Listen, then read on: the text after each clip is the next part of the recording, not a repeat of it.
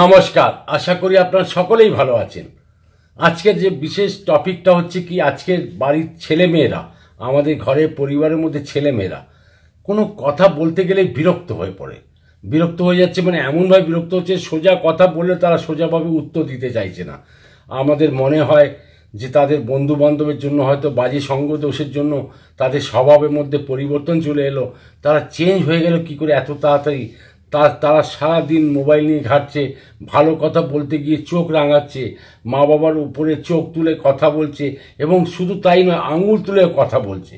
তার মা চেল্লাচ্ছে, চোখে জল ছাড়া তার কোনো উপায় থাকে না।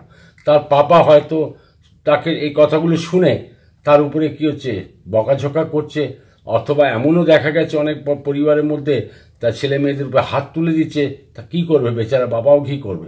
পাপাও কি করবে? তার মাথা গরম হয়ে যায়, তার কথা শুনলে তাদের মাথা গরম হয়ে যায়।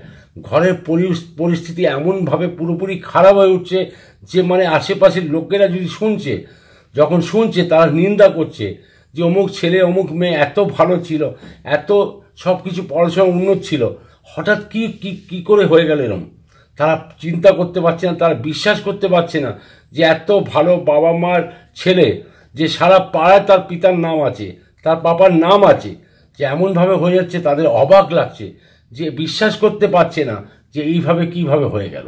এটা বিশাল স্বাভাবিক কথা আজকের দিনে।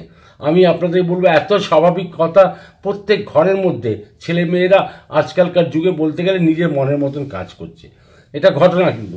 তা, ব্যাপারটা হচ্ছে কি, তাদের তাদের পেছনে রহস্যটা কি হচ্ছে? তাদের পিছনে রহস্যটাই হচ্ছে আমরা। আর সেকেন্ড হচ্ছে কি মোবাইল আর থার্ড হচ্ছে এমন বন্ধু বান্ধব সব জুটে গেছে, কোনো পরবাই করছে না। তারা ভাবছে আজকে আমরাই যে সেরা, আমরাই সব কিছু এটাই নিয়ে পুরো সব সব কটা বাবা মার আসেন আমার কাছে যা দেখি যে তাদের মনের মধ্যে একটাই কষ্ট, যে আমরা এত কিছু সব কিছু করছি, তার জন্য সে কিন্তু কোনো কথাই শুনতে চাইছে না, কোনো কথা বুঝতেও চাইছে না। শুধু আজে বাজে বন্ধু আর ইভেন্ট শুধু তাই নয় নেশা টেশাও করতে শুরু করে দিচ্ছে তাদের মধ্যে এটাও একটা বিশাল বড় কমপ্লেন যখন ছোট বয়সে একটা বাজে সঙ্গের মধ্যে চলে যাচ্ছে আর উল্টো পাল্টা নেশা করছে। দেখুন, সবার জীবনে মানে সবার জীবনে কি হয়, একটা স্টেজ আসে। একটা স্টেজ আসতে সব কিছু মানুষ করে।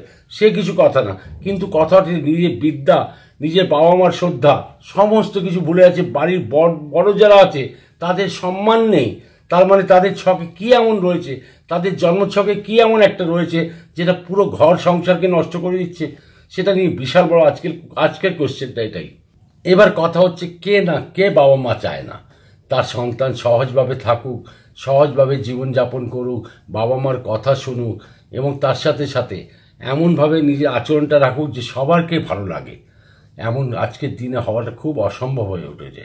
তাও আমি আপনাদেরকে একটাই কথা বলব, শিব মহাপুরাণের মতো একটি এত সহজ উপায় বলছি যেগুলোকে মানে পিতামাতার অভিভাবক যারা আছেন, তারা তাদের মানসিক চিন্তাতে কাটিয়ে কাটিয়ে তুলতে পারেন।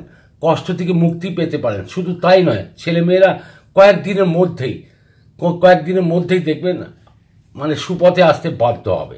উপায়টা বহুতই সজা আছে। খুব সহজ উপায় আমি আপনাদের জানাচ্ছি, যেটা করে আপনাদের মানে পরিবারটাকে সুস্থভাবে আপনারা চালন করতে পারবেন। সর্বপ্রথম কি করতে হবে? লাল চন্দন নেবেন। বাটা লাল চন্দন নিয়ে নেবেন। সেটাকে ডান হাতে তিনটে আঙুল, এই তিনটে আঙুল দিয়ে কী করুন বেলগাছ, যদি আপনার আশেপাশে বেলগাছ থাকে যদি বেল গাছ থাকে, খুব ভালো কথা। যদি না থাকে, তার জন্য উপায় বলেছি। তিনটে বেলপাতা নেবেন। তিনটে বেলপাতার একটা পাতার মধ্যে তিনটে পাতা হয়। সেটাকে নিয়ে ওই বেলপাতার উপরে এরকমভাবে তিনটে লাইন টেনে দেবেন। বেলপাতার উপরে, এটা খেয়াল রাখুন। এবার তৃতীয় হচ্ছে, যদি বেলপাত বেল গাছ না থাকে, তাহলে এটা করবেন বেলপাতার উপরে। আর যে চকচকে দিকটা আছে, তার উপরে করবেন। তারপর যেখানে আপনি এটা লাগিয়েছেন তিনটে আঙুল দিয়ে, সেই আঙুলটাই ওইভাবেই রাখবেন। আর আরও কিছু দরকার লাগলে আপনি আরও একটু মাখিয়ে নেবেন। লাল চন্দনই মাখিয়ে নেবেন। সেটাকে গিয়ে যে কোনো শিব মন্দিরে গিয়ে, সেই তিনটে আঙুল দিয়ে শিব মন্দির উপরে একটা ত্রিপুণ্ড এঁকে দিন। ত্রিপুণ্ড এঁকে দিন। যে হাতে লাগানো আছে, সেই হাতেই আবার যেখানে লাগিয়ে রেখেছেন, সেখানে আবার বাড়িতে চলে আসুন। আর বাড়ি যদি আশেপাশে শিবলিঙ্গ শিবলিঙ্গ মন্দির না থাকে, তাহলে সেটা বাড়ির যদি শিবলিঙ্গ রাখা থাকে, তার উপরে লাগিয়ে দিতে পারেন। তারপরে সেই আঙুল দ্বারা আপনি যে বাড়িতে এসছেন, ছেলে মেয়েদের যে রুমটা আছে বা যেখানে ওরা পড়াশোনা করে, সেখানে যেখানে খুশি, আপনার আলমারিতে হোক বা ওদের চেয়ার টেবিল ইত্যাদিতে হোক বা কম্পিউটারের হোক, যেখানে হোক, আপনার স্টাডি টেবিলের ওপরে হোক, সেই আলমারি হোক, আশেপাশে যেখানে আলমারিতে আছে, যেখানে তারা ঘুমায় বা পড়াশোনা করে, সেই ঘরে আপনি যেখানে খুশি ওই তিনটে আঙুল দিয়ে আবার সেটা মাখিয়ে দিন। এটা গেল একটা উপায়। তার সাথে কী হচ্ছে? দেখুন অনেক বাড়িতে এমন হয় যেখানে লাগাবার জায়গাই নেই। ছেলে মেয়েদের রুমে লাগাবার জায়গা নেই। আপনি পাচ্ছেন না খুঁজে। তাহলে কি করবেন একটা কাগজ নিয়ে নেবেন সাদা কাগজ নিয়ে সাদা কাগজের মধ্যে সেই তিনটে আঙুল দিয়ে এরমভাবে টেনে দিন। এবার যখন টেনে দিলেন, সেই কাগজটাকে এত সুন্দরভাবে যত্ন করে রাখুন বা বাঁধিয়ে নিন। সেটাকে বাঁধিয়ে আপনার ছেলে মেয়েদের রুমে টাঙিয়ে দিন। দেখবেন আপনি কয়েকদিনের মধ্যে, আপনি বিশ্বাস করতে পারবেন না যে কয়েকদিনের মধ্যেই আপনার ছেলেমেয়েরা বাধ্য পথে চলে আসবে। তারা বাধ্য হবে, সুপথে চলে আসবে। সুপথ আসতে তারা বাধ্য হবে আর কি। আমার কথা হচ্ছে, এর জন্য একটা মন্ত্র আছে। সেই মন্ত্রটা হচ্ছে কি? ওম অবধূতেশ্বরায় নমা অবধূতেশ্বরায় নমা। এই মন্ত্রটাকে ওম অবধূতেশ্বরায় নামা। এই মন্ত্রটাকে আপনি মনে মনে বলতে থাকুন, আর শিবলিঙ্গে যখন ত্রিপুণ্ড এঁকেছেন বা চন্দন সরি বেল গাছের উপরে লাগিয়েছেন বা বেল পাতার উপরে লাগিয়েছেন, যখন ছেলে মেয়েদের রুমে লাগাচ্ছেন বা কাগজে লাগাচ্ছেন, এই মন্ত্রটাই পাঠ করতে থাকবেন। আর দেখুন তাড়াতাড়ি কদিনের মধ্যেই দেখবেন সে যে ছেলে মেয়ে আপনার বাধ্য ছিল না, অবাধ্য হয়ে গেছিল, যে চোখ রাঙিয়ে কথা বলছিল, যারা আঙুল তুলে কথা বলছিল, যেবার যেভাবে আপনার সাথে দুর্ব্যবহার করছিল, আপনার কিছু মনেই করছিল না। ইভেন এমনও দেখেছি, সে ছেলে মেয়েরা নিজের মায়ের গায়ের উপরে হাত তুলে দিচ্ছে অবাক লাগে। সে মা জননী তার উপরে হাত তুলে দিচ্ছে ভীষণ কষ্ট লাগে এইসব দেখে এবার শুনেও ভীষণ কষ্ট লাগে। আমি আপনাদেরকে এটা বলছি, যে আর নেশা টেশা ইত্যাদি এমনভাবে করে যাচ্ছে, যেটাকে আপনারা সামলাতেই পারছেন না, কিছুতেই সামলাতে পারছেন না। তাদের জন্য এই উপায়টা করবেন, দেখবেন দারুণ ফলাফল পাবেন। আপনি বিশ্বাস রাখতে পারেন, শিব পুরাণের এক একটা কথা সত্য কথা। আর যারা উপায় করেছেন, তারা আছে, সুখী আছেন। আপনারাও সুখী হতে পারবেন, ছেলে মেয়েদের হাত থেকে তারাও সুখী হবে।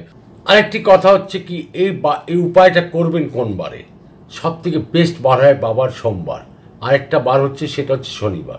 যে কোনো দিন, যে কোনো সোমবার, যে কোনো শনিবার এই উপায়টা করা যাবে। আপনারা জেনে রাখুন, এই উপায়টা করলে ভীষণ ভালো ফলাফল পাবেন। আপনার করে নিন।